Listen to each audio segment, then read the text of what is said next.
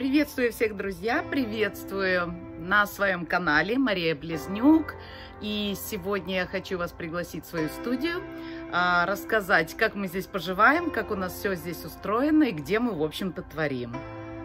Ну что ж, студия находится возле леса. Вот он прекрасный, замечательный лес.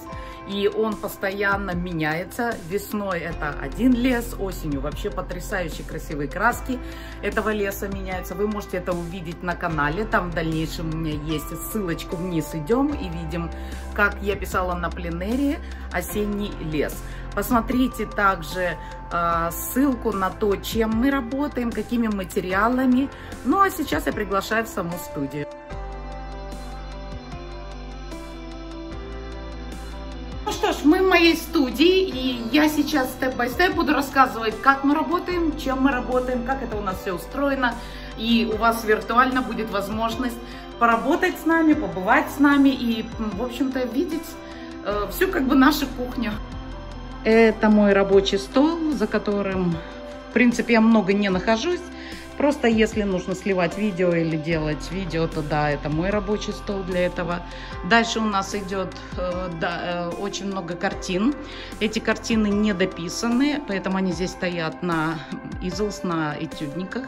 Ну, конечно же, большое количество работ на стене везде. Они висят, их э, очень много, я их меняю с эпизодичностью. А, здесь есть, например, работы недоработанные с мастер-класса. А, внизу вы видите, это oil painting, это с мастер-класса недоработанный. Дальше идет вот акрил домик, это у нас идет пастель. Ойл пастель, наверху тоже работа мастер-класса осталась, когда мы писали с девочками. А, здесь просто вот такие вот easels, да, вот такие вот у меня мольбертики. Очень удобные, вы видите, они маленькие есть, высокие, это просто у них ножки укорачиваются и удлиняются. А, так, на этой площадке у меня, конечно, очень много гипсовых примеров, которые мы рисуем, фигур, а, элементов лица, которые мы тоже прорисовываем, там бумага. А, в принципе, очень удобно, дети это все видят.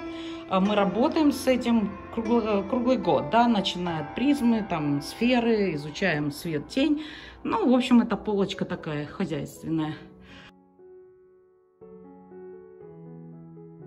Так, здесь мы идем дальше, смотрим. Есть у нас уголочек, в общем-то, основная как бы стенка, где я люблю работать. Это мое рабочее место, вот так вот оно выглядит. А, Все вот настроено на то, чтобы на запись. Ну, работаю, я запись веду через телефон, нет у меня камер, нету пока ничего профессионального. Дальше посмотрим, насколько это все будет интересно. А вот, в принципе, это мой походный такой вариант, когда поставленный быстро натюрмортик или вот, цветочный букет записывается, и потом я выкладываю уже на YouTube. Тоже, видите, красивый вид который, в общем-то, впечатляет, успокаивает, а осенью он преображается. И я поднимаюсь на второй этаж, и там с дека, со второго этажа, я пишу весь лес. Так, здесь вот и мольберты, и этюдники мы прошли. Но это все работы, которые сейчас в работе, да, над ними работают все.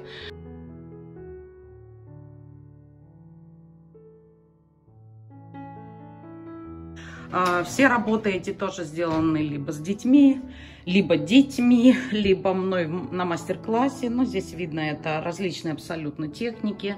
И декупаж есть, и есть ойл, и акрил. А, абсолютно все. Так, это вход в нашу коморку. Мы заходим туда, и сейчас вы посмотрите, что, в общем-то, там находится. А, и рамки, и все для масляной живописи, и там работы детей. Давайте зайдем. Это мы находимся в такой коморке, которую я как бы приспособила полностью под уже масляную живопись. Ну, здесь находятся вот мольберты такие ученические, это для э, совсем юных маленьких студентов, стулья. Здесь все полностью рассчитано, вот э, весь стеллаж для масляной живописи. Это перчатки, лаки, э, масла различные, э, даже для resin art есть. Ну, в общем, все-все-все рассчитано именно все эти бутылочки, э, чем мы пишем. Ну, там холсты лежат, эти остатки еще с рамками. Очень много вот приготовлено палитр, на которых мы пишем. Там у нас куча кисточек, там у нас весь отдел, в общем-то, с глиной. Это незаконченные работы детские лежат. Все полностью под глину. Это рассчитано, весь уголочек. И здесь инструмент элементы. Ну, этот угол полностью у нас это рамки, рамки, э, дописанные, недописанные работы. Те, которые просто остались, вот и переписывать нужно.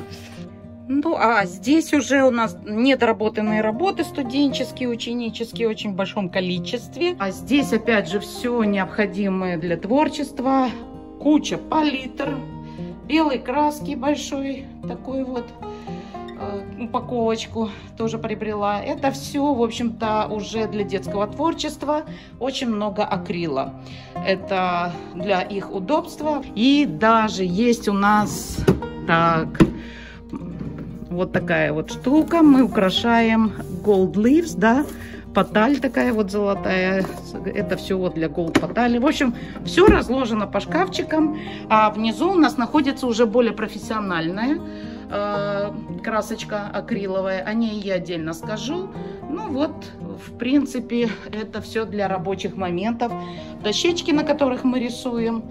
И вот все для удобства. Вот в таком вот углу находится, в доступности. Ну и как продолжение, в общем-то, это стенка такая вся увешана работами. Это работы э, студентов, которые не закончены. И мои есть старые работы, или которые тоже я не закончила. И, э, в принципе, вот он главный стол рабочий.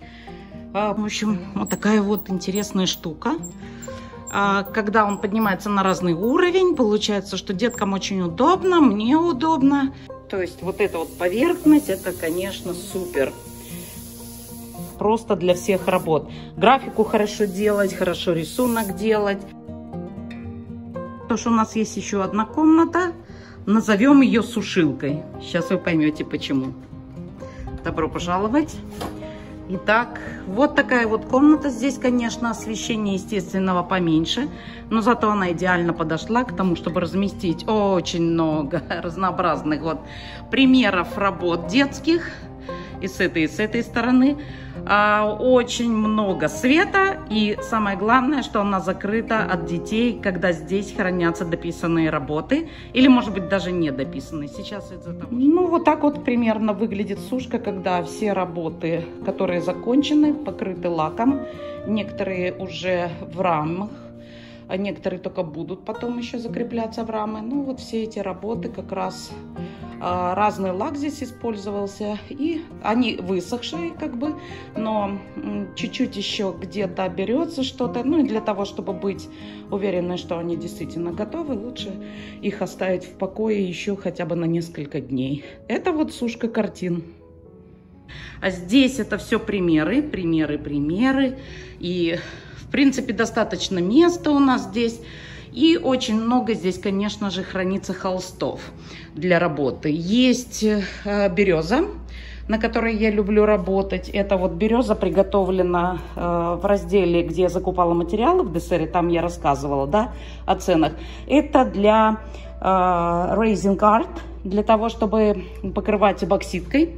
Вот три панно приготовлено. Это все работы, которые детские остались, они вот дети придут, с сентября начнут дальше работать.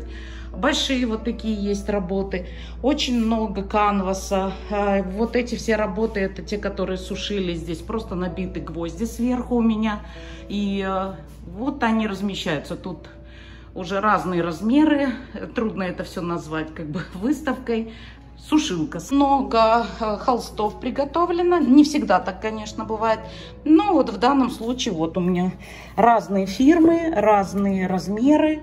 А, заказывала, когда у нас был карантин, вот из ДСРы.